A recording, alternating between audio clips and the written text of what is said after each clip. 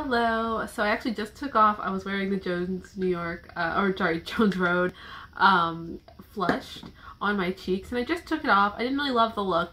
So I decided I'm going to put on something that makes me extra happy, which is the MAC uh, Glow Play blush, which is kind of hard to say, uh, in Rosy Does It. And I figured like this is kind of such a strangely bright looking blush that I would put this on on camera so you guys can see how a color like this, it seems shocking or like really bright for someone that is super fair uh, to wear, can be put on really nicely and or put on really easily and not be kind of overdone.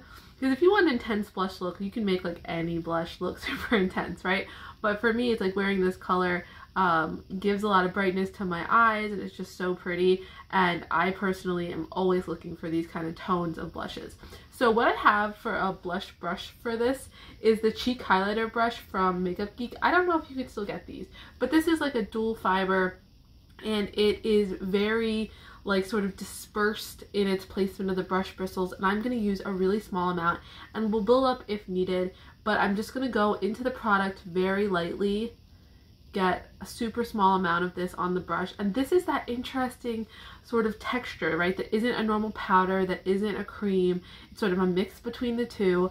And I personally really like this formula. I want to get more shades from this but I'm not sure where to go with it. I need to like because of COVID so I found this during COVID and um, kind of in the problem of not being able to actually try on blushes right now, like in store. And I haven't really been going to many stores with makeup shopping. Um, I would need to really go to a MAC store and like look at these colors to see which one would also be nice because they have a lot of really neutral shades. And one of them might be great for me, but um, I'm just not really sure where to go with the other colors.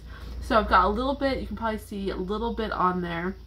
And I'm going to go in and I'm really going to like concentrate this sort of the top of my cheek and go back. And this is that kind of shade. So I don't know if it's picking it up on camera, but it's already giving such a nice brightness. And I'm always matching these to my eyes, to my lips, to see if it's looking nice and bright. And that was such a light layer. And honestly, like from a day-to-day -day perspective, like that is where I could end up with this and just be so happy. It just gives such a soft brightness. But I'm going to go to the other side and then we'll add a little bit more so that you can see more color because on the camera I think you don't necessarily see as much. So just a little itty bitty bit on there. My like motto is if something works well for you color wise, like if it's good for your eyes or good for your lips, you can wear it, right? Like you just wear it lightly. so that's what I do. So that's like a super, super light wash of this super intensely vivid blush shade. You can see, I mean, I hope you can see in the camera that even just, just like that, it just gives a little bit of brightness, so pretty for an everyday, like that could work. But let's build it up a little because I'm on camera and you guys might want to see the color a little bit more vividly. So I'm going to add a little bit more. But this uh, brush specifically, or like any brush like this, right? This is like a flat top, dual fiber, it's dispersed. This is a good option for if you're trying to lightly put on a dark color. You can definitely see a little bit more there. This is such a flattering shade. See, they say it's like rosy does it. I think this is definitely more of a plum to me. I mean, it's got that magenta-y shape to it with, or shade to it with plum on the back end.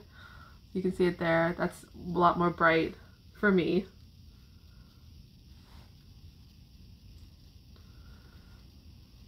And I do think even though this is more plum side, I think it's believable that I would have this kind of tone in my skin. Or at least it's not believable, it looks good next to my eye color.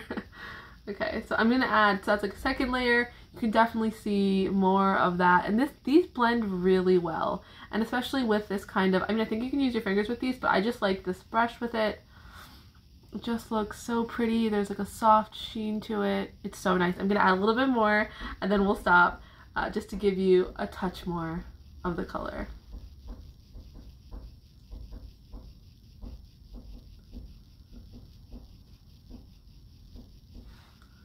Alright, so you can see, super pretty. Alright, thanks for watching.